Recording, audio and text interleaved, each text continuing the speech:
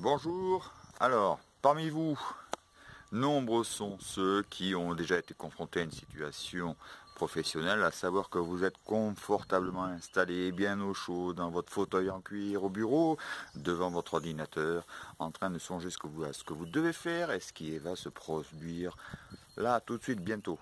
Sauf que un événement impromptu arrive. Et là, c'est panique à bord. Dans quelles circonstances, situations, quelque chose d'impromptu arrive? Le téléphone sonne. Vous ne vous y attendiez pas. Bon, ça peut arriver, mais ce à quoi vous ne vous attendiez certainement pas, c'est que lorsque vous décrochez le téléphone, le combiné du téléphone, vous êtes au boulot pourtant. Hein.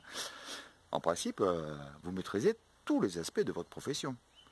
Vous décrochez, vous dites allô, et vous ne comprenez absolument rien de ce que la personne envisage de vous dire. Pourquoi? Parce qu'elle ne parle pas votre langue maternelle.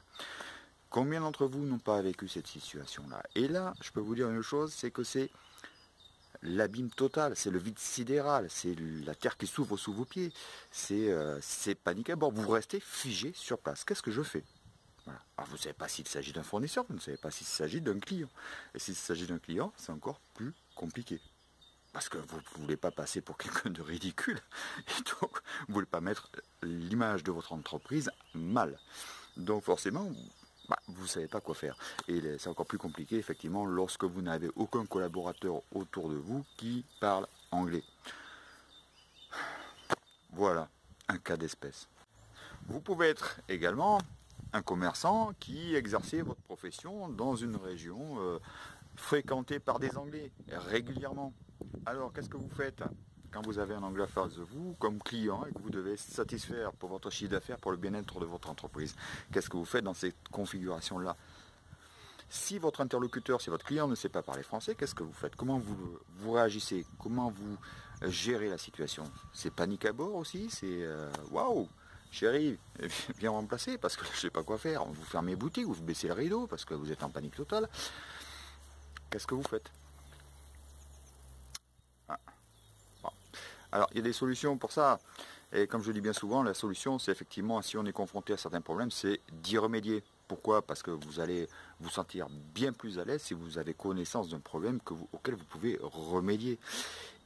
Alors, qu'est-ce que l'on peut faire pour remédier à cet état de stress permanent, cette anxiété galopante et quotidienne qui vous pousse à dire mon Dieu si mon téléphone sonne et que ce n'est pas un Français qui est au l'autre bout du fil, ou bien si j'ai en face de moi sur mon étal, je suis commerçant, devant moi sur mon étal j'ai un Anglais qui arrive, je, bah, vais être euh, couillon, euh, je vais pas savoir quoi lui, répondre, quoi lui vendre, donc je vais rater une vente, etc. Et puis pour vous professionnels, qui êtes assis confortablement à votre bureau, si vous le téléphone saute, ça peut être quelque chose de très important, de capital pour euh, votre entreprise.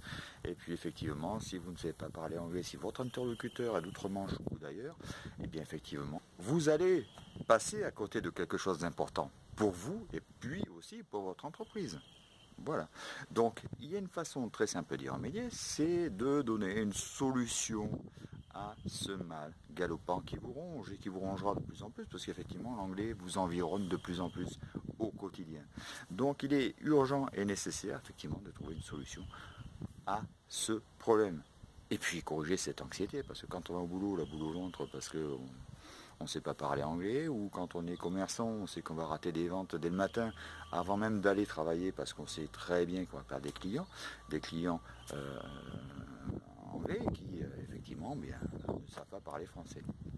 Voilà, donc la meilleure des solutions pour contrecarrer tout ça et pour apaiser de manière durable, silencieuse mais efficace, c'est d'apprendre l'anglais.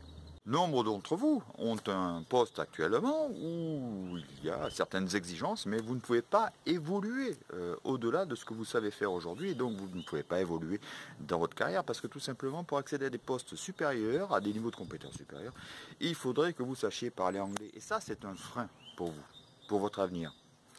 C'est déjà un frein. Ensuite, si vous êtes commerçant, si vous êtes commerçant, eh bien tout simplement, combien de clients anglais viendront une fois chez vous tout simplement pour voir s'ils peuvent se faire comprendre dans leurs intentions d'achat, mais combien aussi ne reviendront pas chez vous parce qu'effectivement ils savent déjà, d'ores et déjà, que vous ne parlez pas anglais. Donc ils iront chez le voisin.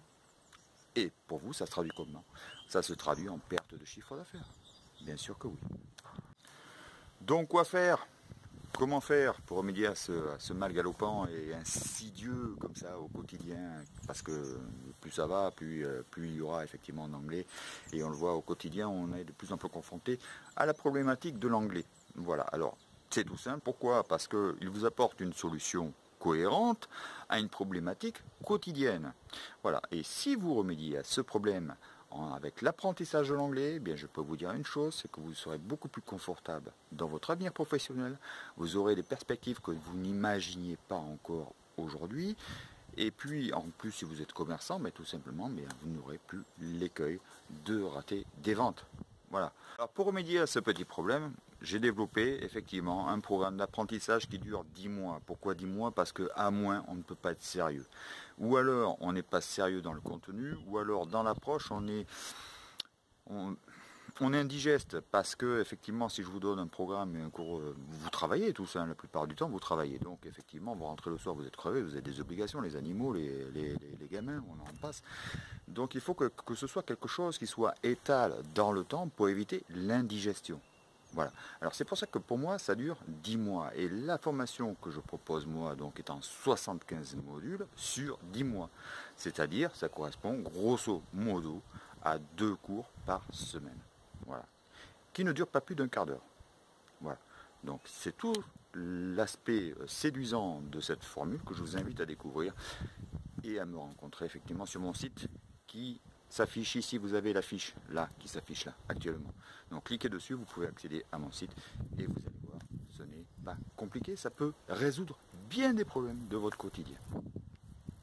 Et engager votre avenir aussi. Ciao